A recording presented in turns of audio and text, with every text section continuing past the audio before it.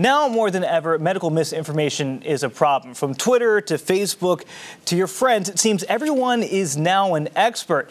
But we have an actual expert joining us this morning. That's Dr. Sandy Falk, editor in chief of Merck Manuals and a practicing physician at the Dana Farber Cancer Institute. Dr. Falk, thank you so much for joining us. Good Morning. Thank you for having me. It's my pleasure. Well, Dr. Falk, I want to start right here. A recent survey conducted by Merck Manuals for Global Medical Knowledge Day showed that more than two thirds of Americans say that they often hear conflicting medical information from family and friends. Why is that? Oh, that's that's a good point. I mean, I I'm I'm glad people are talking about health information with their family and friends. You know, all of us are and should be very actively engaged in our health. Um, when it comes to conflicting information, and I, it, you know, I saw in your intro you mentioned experts. So, you know, experts is a word that really needs, you know, it's sort of like a trust but verify situation. You really want to know um, where is that information coming from, and and that's what's most important when you're looking at conflicting results. Um, so, you know, even amongst the top leaders in medicine, there's going to be debate. There's going to be, um, you know, differences of opinion. But in general, we have a system within medicine to evaluate the evidence that is backing something up. Now, some things we actually don't have a lot of argument about because the evidence is so strong in one direction that everyone who's trained, who's qualified to address a particular question will actually agree because the evidence is so strong. Um, and that's what you know that's what we refer to as evidence-based medicine. Mm-hmm. Um, this exact system for evaluating the quality of evidence for, for any type of medical. Sure. So a consensus is if I have a gash that's too big, I need to get that sewed up and go have a doctor look at it. But when we talk about something like, say, vaccines or whether or not to wear a mask, and I'm going on whether it be Facebook or Twitter, how do I differentiate what's the right information, what's the wrong information?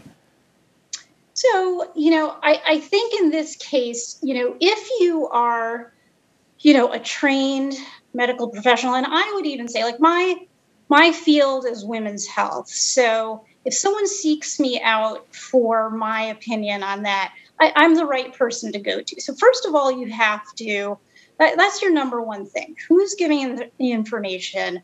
You know, what's their level of expertise? There's so much medical knowledge out there. And that's, that's one of the reasons we kind of created this global medical knowledge day. Um, there's so much medical information out there that no one person can claim to be expert in everything.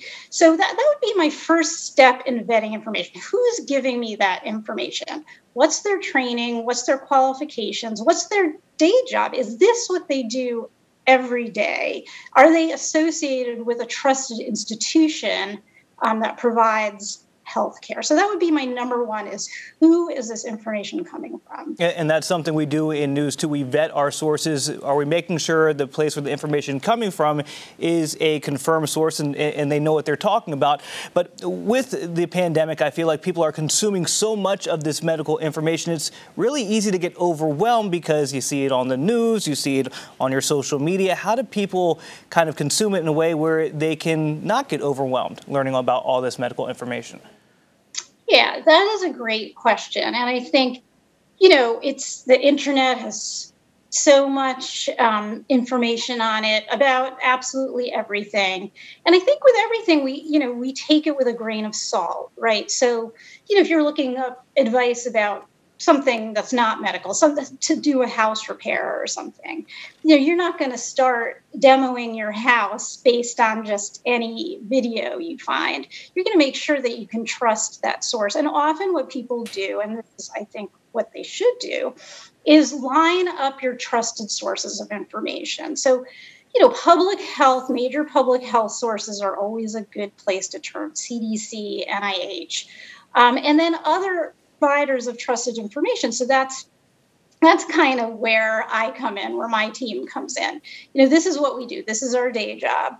We every day um, at the Merck manuals, we sort through all the information that's out there. And actually, I, I actually don't know if you know this, but um, we've been doing that for over 100 years. The um, manual was first published in 1899 mm-hmm. and it, used to really sit it's been it was a book for a long long time. It used to sit in everybody's house like probably on their like kitchen shelf and that's where they would turn for information.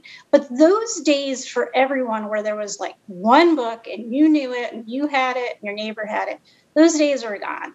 So in today's world you have to really say I, I think that's people's best go-to strategy find a few sources, vet them, mm-hmm. and then turn to them again and again. I think, Dr. Falk, I think that makes perfect sense. You wouldn't trust the CDC when it comes to information on demoing your house, but when it comes to medical information, trust the professionals. Uh, Dr. Falk, thank you so much for helping us with that. Enjoy the rest of your day, and thank you for waking up early with us.